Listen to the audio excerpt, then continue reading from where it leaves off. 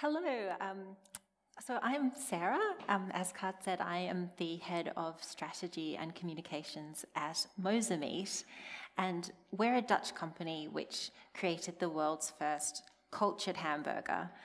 That is to say, real meat which is created directly from animal cells rather than growing and slaughtering a whole animal. And it's so exciting to be here in Tallinn, one of the main innovation centres of Europe, to talk about this technology which could change our food system and the world so positively.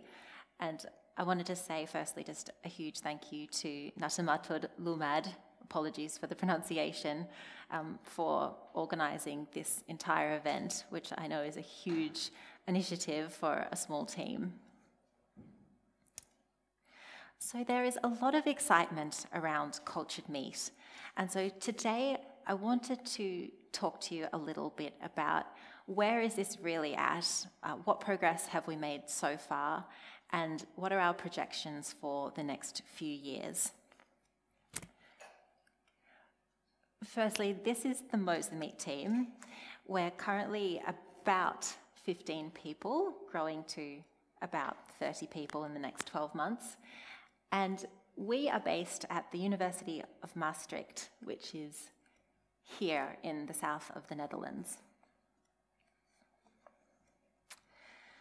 The journey for us started in 2008.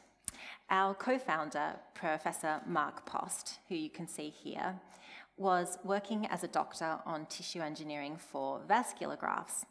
And he was approached by a Dutch entrepreneur called Willem van Eelen, who wanted him to join this new project, which was going to investigate the potential of something which no one had heard about at the time, called in vitro meat. Mark, to be honest, thought that it was a little bit of a crazy project at the time and took some convincing to give up his medical career to, as he calls it, start making hamburgers. But he also recognized that if it worked, cultured meat had the potential to be one of the solutions to some of the most pressing crises that we are facing, including climate change, mass environmental destruction, and of course, problems with animal welfare and our own health. So, why change the way that we make meat? One of them is that livestock production contributes significantly to greenhouse gas emissions and climate change. According to the United Nations Food and Agricultural Organization, livestock production contributes 15% of greenhouse gas emissions, which is as much as all the cars on the road and all the planes in the sky. What's more, cattle releases unchecked methane, which is a greenhouse gas 30 times more potent than carbon dioxide as a heat trapping gas.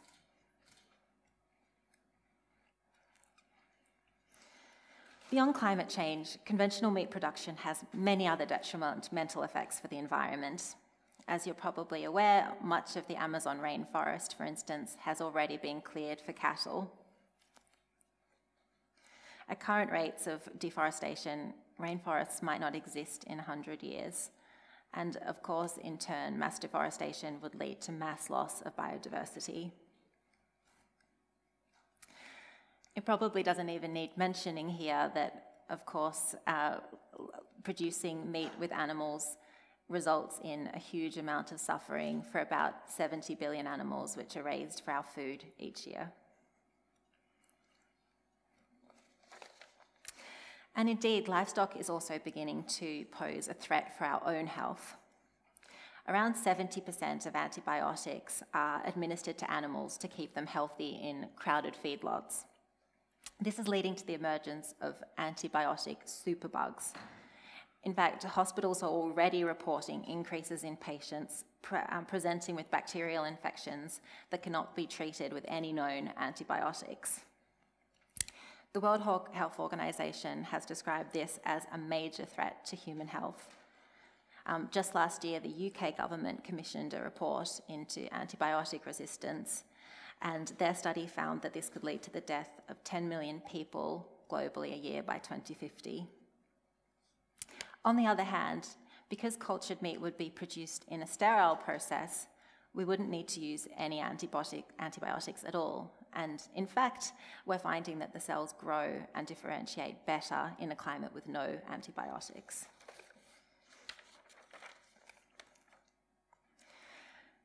But it's actually not just a moral or a health issue, it's a practical issue. The UN Food and Agricultural Organization estimates that global food demand is going to increase by 70% by 2050. While meat demand is um, increasing more slowly in developed countries or even levelling out in some, meat demand is still going to soar due to a higher population and the growing middle class in developing countries who are demanding much more meat. But producing meat using livestock uses huge amounts of natural resources. As you can see here, producing just one quarter pounder takes 52 gallons of water. We simply don't have enough land and enough water to increase production enough using livestock to satisfy the growing demand for meat.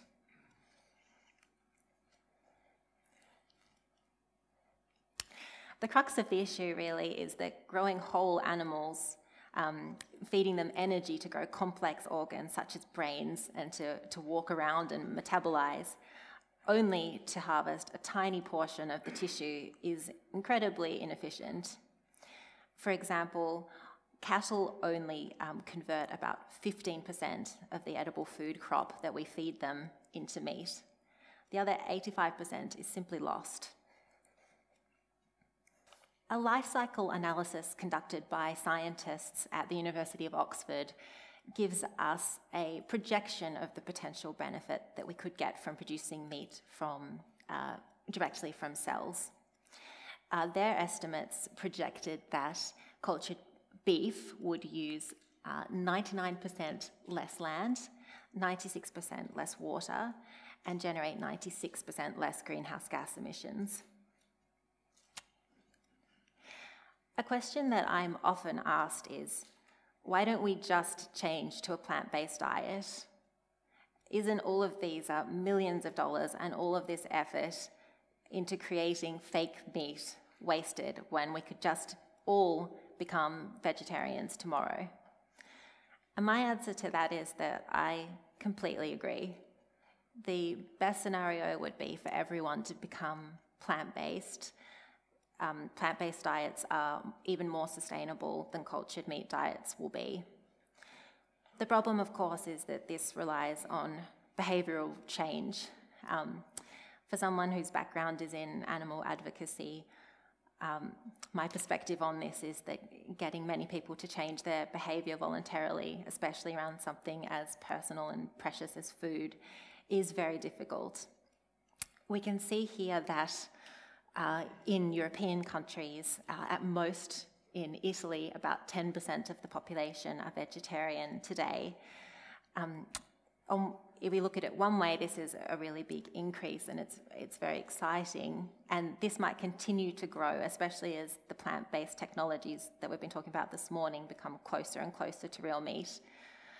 From another perspective, though, we've known about the worst consequences of livestock meat production for at least three decades now, and it's not that encouraging that such a small minority of people have adopted plant based diets. So, from Mosameat's perspective, we're really hoping that um, plant based diets take off as they're expected to and explode, the reason why we're making cultured meat is we, because we think there will be some portion of people who won't ever change to a plant based diet. And so it's good to have another avenue to reducing livestock meat production. So, the very practical question how do we actually make cultured meat? Well, we have to start off by isolating the cells that we want to grow. We do this by taking a biopsy. For example, if we were making beef, we would take a biopsy um, from a cow. This is done by a veterinarian who um, would use an anaesthetic. Um, we've been very concerned about thinking about whether this process could cause any distress to the animals. Um, and so we've talked to veterinarians and understand that this can be done without causing distress to animals and also would, there would be very few animals from which would have to have these biopsies once we're at scale. So we take a muscle fibre and we isolate the stem cell, the satellite cell. We then feed the cells with uh, nutrients and growth factors, and this induces them to naturally start dividing, exactly as they would inside the animal, until we get trillions of cells from a single sample. Once we have enough cells, we uh, stop feeding them the growth factors and they naturally start to differentiate into muscle cells or fat cells. The next step is the maturation. So we start with sort of loose cells. We've got loose cells and muscle cells. In order to get them to turn into sort of strings of muscle fibre, we put them around a gel and once they have contact with the surface, they naturally start contracting and putting on bulk. And eventually they turn into a muscle fiber, like you can see here.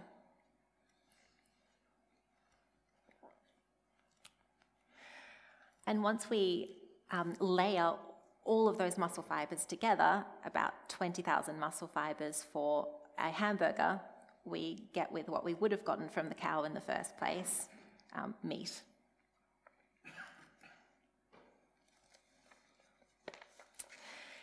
So in 2013, a team of scientists um, led by Mark Post created the world's first cultured hamburger. It was unveiled at a press conference in London, and I wanted to show you a quick video to show you what the reaction of the taste testers was. Okay, everyone sitting here with bated breath is dying to see what's underneath the cloche. So can you do the honours and, and lift the lid on your creation? I can. Yep. Okay, now obviously in its raw state, it looks quite like a traditional bur burger. This burger was produced in about three months. Three months, and you would say it's which is faster than a cow. A hamburger. Of course, we did some testing before, and we did some tasting before. Okay, we can see the burger cooked now. Happy with both sides of that? Yeah, absolutely. Yeah.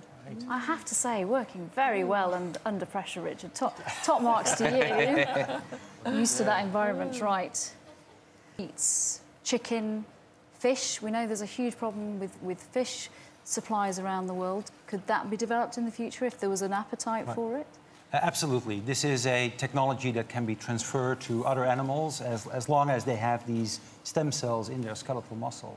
Uh, which most animals do, it can be transferred to um, other animals like fish, chicken, other, um, um, you know, lamb, you, pretty you, much everything. You told me earlier that this actually, albeit a new technology, what did it taste like? Mm. I was expecting the, the texture to be more soft. There's really a bite to it. Um, and there is mm, quite some flavor with the browning. And I know there's no fat in it, so I didn't really know how it's how juicy it will be. Um, but there's quite some intense taste. It's close to meat. It's not that juicy. So, as you could see, the sort of verdict was that this was close to meat. The taste testers recognized it as meat, but it wasn't quite identical. And we believe that if this is, has any chance at success of becoming a popular mass product, it really does have to taste exactly like meat. So, in the last sort of five years or so since that first hamburger was launched, our team has been working on improving the product. Most notably, they added fat to the hamburger. Um, that first hamburger only contained muscle cells, and that's why it, it was described as being dry and not very juicy. And we've also improved the protein content. Um, that first hamburger was actually coloured using saffron, but the meat itself, before it was coloured, was white. That's because the hamburger didn't contain any myoglobin. Um, so since then, the scientists have changed the conditions that the cells are cultured in to allow the cells to produce myoglobin and give the, the meat its natural colour. Another really key thing that we've been working on is one of the biggest scientific unknowns. Um, you might have heard of this. It's the cell medium. So currently in tissue engineering, which is done mostly for pharmaceutical or medical applications, a, a, serum is used to feed the cells, which is called fetal bovine serum. This is derived from the fetuses um, taken from slaughtered dairy cows. And so, of course, um, for animal welfare reasons, we can't use this in the future. So, one of the most important things, scientific questions for us has been well, is there a different plant based serum that you could actually use that would work?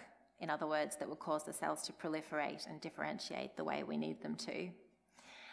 So far, we've developed a plant based serum medium that works, but we're still now working on optimizing it. So, most of the biggest scientific questions, the most scientific unknowns, are actually worked out. So, the big remaining question is can this actually ever be economically feasible? Are we all going to have to remortgage our homes just to buy a hamburger? So, let's have a look at what's happened to the price. In 2013, the price for a hamburger, the one you just saw being eaten, was about $330,000. The reason why it cost so much was because it was novel science, but also it was being done on a tiny scale by hand. Our technicians were literally like locked in the lab for three months, stitching together 20,000 fibers per hamburger by hand with a little instruments. Of course, all new technologies start at a high price, and it's common for them to um, start at really high prices and come down over time as the technology is scaled and improved. And theoretically speaking, cultured meat should ultimately be cheaper than livestock meat because its production process is so much more efficient. We created Mosameat to exactly look at this issue. How do we scale up? How do we bring the price down so that this can be a mass product? Uh, a few months ago, we received our Series A fundraising, and our next three years are fully focused on this question of bringing the price down. There are two main ways that we can bring the price down. One is just by scaling the production process, and the other is by, uh, by increasing the efficiency of the process. So currently, we are designing a blueprint for a bioproduction process that could be scaled to industrial volume. Um, this photograph here shows what we started with in 2013. We were using petri dishes and flasks, which have a very unfavourable surface to volume ratio and obviously can't be uh, moved up to industrial volume production. But this shows how we might move from a small petri dish up to a small bioreactor and ultimately the production will occur in 25,000 litre bioreactors. Um, this is a, um, a rendering by a architect called Chris Whiteside, which gives you a little bit of a preview of what a cultured meat factory one day might, might look like. Of course, creating such a, um, a production process throws up all sorts of practical and biological and engineering challenges. Um, to give you a specific example of the sorts of things that we're looking at, um, the cells like to grow on a surface. They don't like to just be suspended in the bioreactor. And currently, what's done in the pharmaceutical industry is the cells are grown on what are called microcarriers. They're sort of little beads that the cells clump around. However, in um, pharmaceutical applications, what they want to uh, derive is the cell secretions. They're actually not interested in the cells themselves. So they use enzymes to get the cells off the microcarriers. And this, is, um, this leads to about 30% of the cells being lost, which of course doesn't matter for the pharmaceutical industry because they're not interested in the cells. But for us, if we want to produce at a cost competitive um, price, we're going to be able to have to be able to harvest much more than 70% of the cells. So it just gives you an idea of kind of the sorts of practical issue that our scientists and engineers are grappling with at the moment. We have done some modelling of how the price is going to come down over the next um, few years. So this was some modelling that we did where we scaled all of the production inputs, but we didn't change the technology at all. So if you like, this represents, if we were just to scale the current technology and not increase the efficiency at all, what would the price be? And I won't go entirely through the modelling, but the upshot is that we, if we go up to maximum scaling while increasing the tech, uh, keeping the technology constant, we get to a price of roughly six euros per quarter pound today. This is obviously a huge reduction since 2013. But having said that, that last decrease from six euros for a quarter pound hamburger down to one euro, which is what they are in the supermarket, is going to make the complete difference as to whether this technology ever becomes a success or not. So, where is this extra cost coming from? Why does it cost six euros instead of one euro?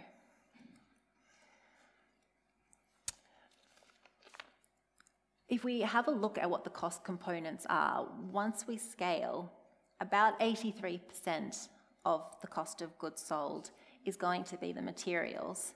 And the vast majority of that, of those materials, is the cell medium.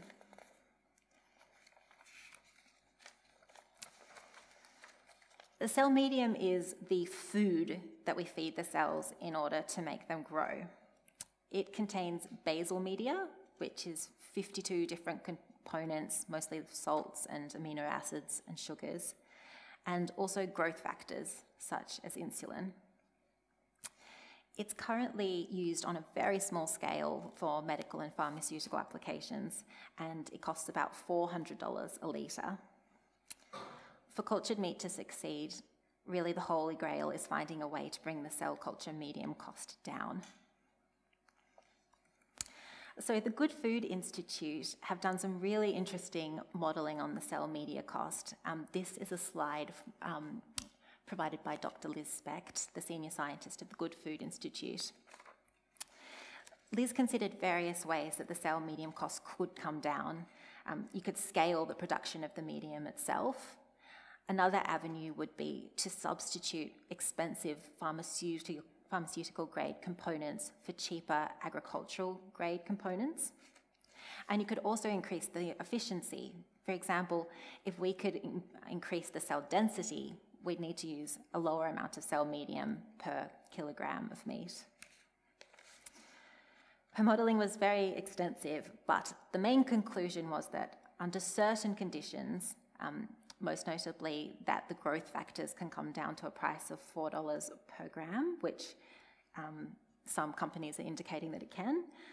The cell medium could come down to only $2.18 um, a pound of meat. To give a comparison, a pound of ground meat is about $3.50, so this would make cultured meat competitive. So, what is the timeline? For Mosameat, we are planning to do our first small scale introduction in 2021. This will be a premium product. It will, um, we project to be about 10 euros for a hamburger. So it's going to be, for, for example, at gourmet restaurants rather than on supermarket shelves. Um, and I think that most of the cultured meat startups have a similar timeline of three to four years for getting the first products on the market. In terms of when this is actually going to be on supermarket shelves at competitive prices, that's really going to take probably about 10 years. Um, it is dependent on the production process being scaled up, and we project it probably will take about a decade for that to happen. Before 2021, we have a few non scientific challenges um, that we need to overcome before we can put a product on the market. One of those is getting regulatory approval. So, here in Europe, as a European company, to put a novel food on the market, we need to get the um, a safety determination from the European Food Safety Authority. And if we do get a positive determination from EFSA, the EU member states also need to all vote to endorse the product. Uh, in Europe, the regulators look not just at the end product itself, but also your production process.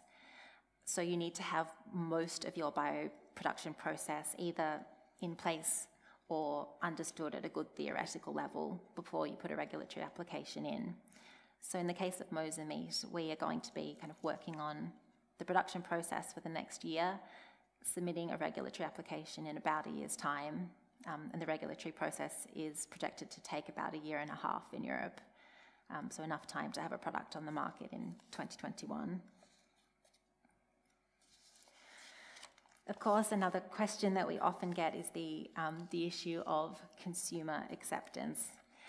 If we manage to get the price down and get this onto supermarket shelves, but people won't eat it, then all of the effort really would have been in vain.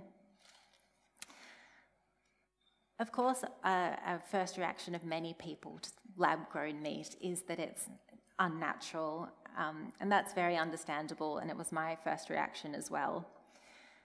But I generally find that it doesn't take long talking to people, both sort of explaining why the current production system's not very natural, but also explaining the, the benefits of cultured meat to convince them that they would at least like to try it. There's been another number of surveys on consumer acceptance in Europe. They've shown results ranging from 90% wanting to eat it down to 10%. Um, this was one example in, um, in Britain. It was found that 68% of the public would like to try it. Even 10% at the end of the day would be a huge market of first adopters. And we're confident that once we can bring the price down and the taste and texture are identical, the animal welfare and environmental benefits are going to appeal to a broad spectrum of consumers. As well as being asked how consumers will react, we're also often asked how the traditional meat industry is reacting. It's our sense that most meat companies at the moment are, um, think it's a little bit too early and they're sort of wanting to keep observing the development of the cultured meat industry before they decide how they're going to participate. As the sort of perception that cultured meat products are closer to getting on the market has um, has increased, we have seen that the first signs of potential pushback from the meat industry. Um, for example, earlier this year, the US Cattlemen's Association filed a petition with the US Department of Agriculture to try and have the definition of meat narrowed um, such that only traditionally produced meat products would be able to be labelled as meat. But then, on the other hand, many meat companies see this as an opportunity and some of the world's biggest meat companies, such as Tyson and Cargill and PHW, are investing in clean meat companies. Mosa Meat was invested in by uh, Bell Food Group, which is the biggest meat producer in Switzerland. And their perspective was we want to do this, one, because we know that in the future we're not going to be able to produce enough meat for demand using the current process. And two, they have a growing segment of their um, customer base who are concerned about animal welfare and the environment, and they want to have this sort of extra product that they can offer those consumers. So it's not yet completely clear how the traditional meat industry is going to participate, but one thing is certain is that the cultured meat industry itself is exploding. Uh, when we started, there were only one or two companies. There's now, at the latest count, um, 26 cultured meat startups. Here's some of them. Um, some of the world's most famous investors, like Bill Gates, Sergey Brin, and Richard Branson, have invested. We're also seeing governments such as the Israeli government and the Chinese, uh, sorry, Israeli government and the Israeli government investing. And China recently signed a $300 million deal to buy cultured meat from three Israeli companies.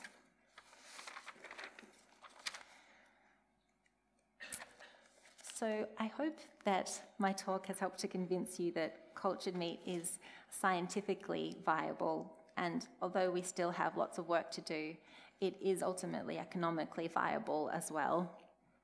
And I do hope that um, Estonia, like with one of the most innovative centres in Europe, will turn its technological and scientific expertise to cultured meat as well so that we can get products on the market as quickly as possible and realize the enormous potential benefits for our planet and for animals and for ourselves.